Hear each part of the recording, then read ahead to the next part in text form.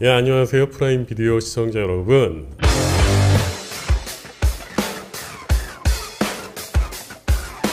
어, 저희 드라마 법전은요, 어, 거악에 맞서 싸우는 통쾌한 복수극인데, 그 안에, 그 복수극 안에 굉장히 장르적으로 재미난 요소, 아주 그런 게 가득한 드라마니까, 그냥 편하게 한번 켜놓으시면 충분히 브라운관으로 빨려 들어가는 드라, 드라마가 될 거라고 생각합니다.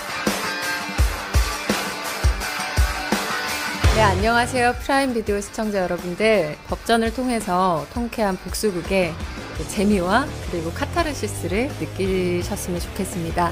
느끼실 수 있을 거라고 확신합니다. 감사합니다. 법전, 법전 많은 사랑 부탁드립니다.